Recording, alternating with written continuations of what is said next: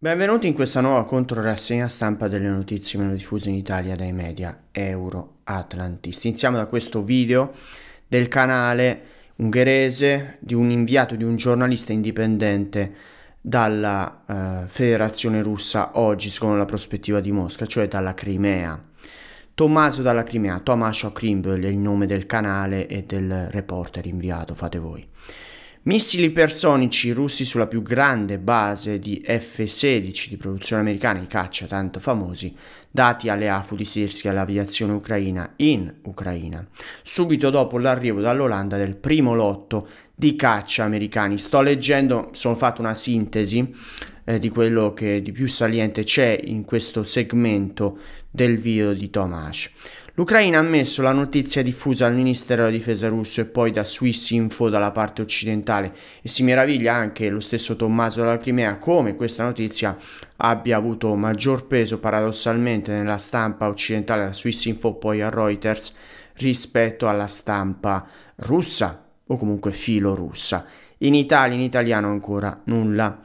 I Kinjal, quindi i missili personici usati, i pugnali, questa è la traduzione eh, di produzione russa, secondo Kiev non avrebbero provocato danni né alla pista né alla struttura dell'aeroporto né agli F-16 stessi, cosa poco credibile ovviamente.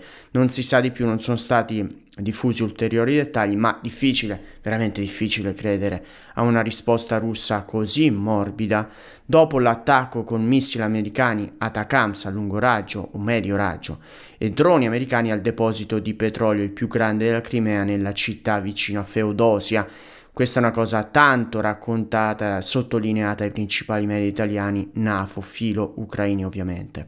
Quindi un attacco, quello di Feodosia, di un giorno prima insieme a, ad altri attacchi nella guerra ibrida, come ad esempio all'attacco alla base dati della televisione pubblica Russia 1 Rassia Yin. I russi, l'armata russa e non rossa, eh, è riuscita ad avanzare con successo e come commenta Mondi nel testata conservatrice Maggiara, in fila cadono le roccaforti ucraine nel Donetsk, quindi le linee difensive costruite già a partire dal 14, più di dieci anni fa con l'aiuto occidentale, in barba a Minsk 1 e Minsk 2.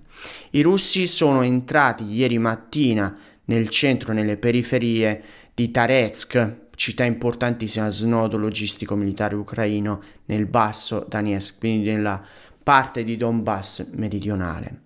Poi sono cadute definitivamente sotto il controllo quindi del Cremlino Gelanne Pervoje e Stielmachivka. Dalla parte dell'esercito ucraino il nuovo comandante della 72esima brigata motorizzata delle AFU di Sirski, Oleksandr Ok Rimienko ha detto ai media ucraini che non tutti i soldati ucraini sono stati evacuati con successo da Ugledar o Vuledar, città conquistata qualche giorno fa sempre da Mosca.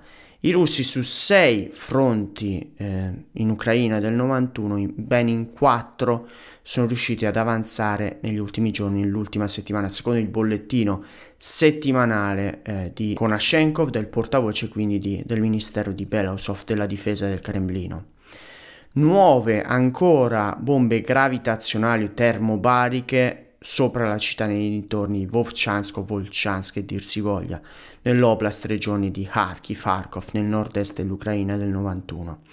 A riferire e a condividere diversi video né smentiti né confermati al Ministero della Difesa russo è Andrei Rudienko, reporter inviato di guerra, che eh, ritrae nei suoi video condivisi su Telegram bombe e munizioni ODA 1500 non paurose come le 9000 di cui ho parlato in questo canale qualche giorno fa, ma eh, le stesse usate per la prima volta a settembre dall'esercito russo, cioè le Oda 1500, vicino alla città di Kupiansk, che se non erro un po' più a sud rispetto a Kharkiv, se non ricordo male.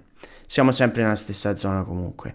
Ringrazio Giancarlo per il nuovo abbonamento mensile a questa informazione complementare che si preoccupa di tradurre dall'ungherese quasi sempre, da articoli maggiari quindi prospettive come quella russa, le più demonizzate comunque dalla stampa principale italiana euroatlantista. Kiev sarebbe pronta a cedere territori rispetto ai confini del 91 in cambio dell'appartenenza, l'ingresso essere membro della NATO, quel che rimane dell'Ucraina sotto il controllo delle forze armate di Sirski. A riferirlo, questo scoop, come direbbero i, i globalisti, il Financial Times di Londra. In Ucraina non ci saranno abbastanza, secondo queste fonti, abbastanza uomini, quindi soldati, armi, munizioni e sostegni finanziari occidentali dal gruppo Rammstein, soprattutto per recuperare nei prossimi, nemmeno nei prossimi anni, i territori persi rispetto ai confini del 91, compresa la Crimea, sede della flotta del Mar Nero russa a Sevastopoli. Zelensky ha cancellato la seconda conferenza di pace, tra virgolette, di novembre, come aveva anticipato lui stesso nell'organizzazione della preparazione a giugno scorso in quel di Lucerna in Svizzera. A riferirlo, uno dei eh, consigliere capo di Zelensky, che si chiama Daria Zarivna, proprio alla stampa ucraina di Kiev. Però, dice lei, ha detto lei, si, sta, stanno facendo dei passi avanti nelle preparazioni di conferenze tematiche, tra virgolette, alla fine di ottobre si terranno in Canada e si parlerà soprattutto dei dettagli del piano della vittoria del presidente ucraino col mandato scaduto. Ovviamente i particolari non si conoscono perché questo piano non è stato ancora pubblicato, non sono fonti aperte, non, non si dice nulla di nuovo in questo senso.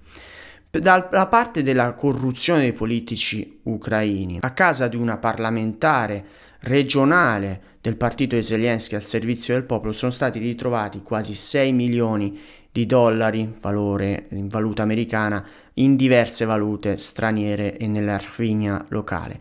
Siamo nell'oblast di eh, Khmelnytsky, eh, lei, l'arrestata Tetiana Krupa, era, ormai possiamo dirlo, capo del MSEC, cioè del Centro per i Servizi Sanitari, Medici, Sociali e quindi un esperto nella parte del terziario nel settore dei servizi in Ucraina. Anche il figlio è stato arrestato eh, dalla SBU e dalla finanza, faceva parte del fondo pensionistico nazionale ucraino. A scriverlo e a riportarlo la testata della minoranza ungherese in Transcarpazia Carpati Igossu, cioè la parola vera, la verità eh, da, dai Carpazi. Ritrovati durante la perquisizione a casa della donna anche dei documenti, dei certificati medici falsati, falsi, proprio per chi ha cercato in cambio di denaro di corrompere i medici, le autorità politiche, anche con successo evidentemente, per sfuggire alla mobilitazione generale anche forzata dei giovani maschi in età militare neanche più tanto giovani. Il figlio della politica nascondeva denaro addirittura nel materasso nel letto della sua camera. Un'altra parlamentare della Verovna Rada, questa volta quindi a livello nazionale del Parlamento di Kiev, ha proposto una proposta molto controversa. Nelle pause tra una lezione e l'altra a scuola, nelle scuole pubbliche d'obbligo, eh, vietate tutte le lingue delle minoranze etnico-linguistiche, quindi anche dell'ungherese o del rumeno o del polacco, per esempio. Lingua obbligatoria anche nelle pause, non solo negli orari eh, delle lezioni, la lingua ucraina ovviamente. A proporlo la donna che avete visto in foto, Natalia Pipan. E questo non fa altro che ripeggiorare di nuovo le relazioni bilaterali, ad esempio con l'Ungheria.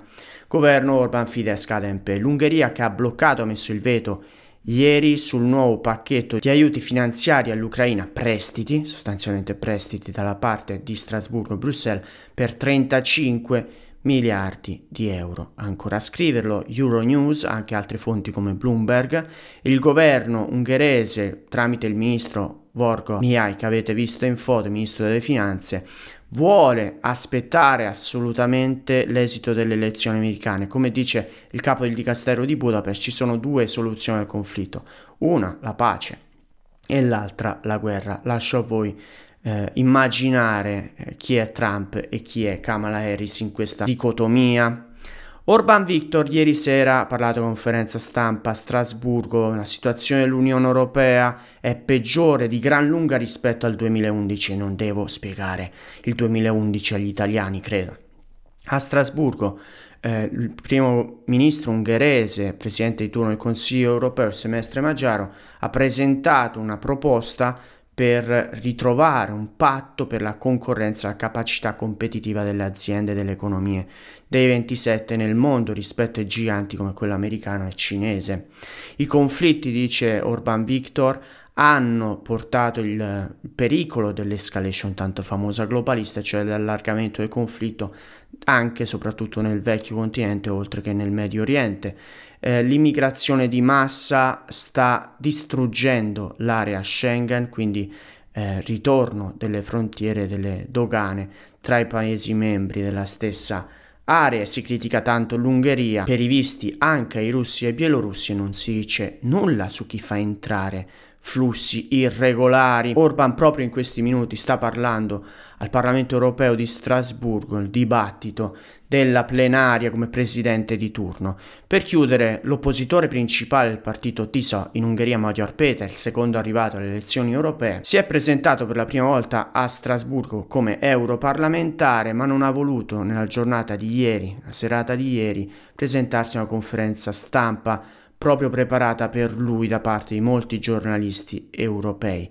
Dopo il fallimento delle proteste davanti alla televisione pubblica M1 e MTVA a Budapest in Ungheria di qualche giornata fa di cui vi ho parlato, 3.000, 5.000 massimo persone, immagini di droni molto esplicative rispetto ai 100.000 poi limite fissato per il successo dello stesso Polosko Peter, Magyar Peter che vedete nella foto. L'europeista, comunque un oppositore di Orban, da sinistra nel Parlamento ungherese, quindi l'opposizione arcobalenata, sostenuta sicuramente dalla guida democratica e neocon statunitense, ma anche da Bruxelles, da von der Leyen e gli altri.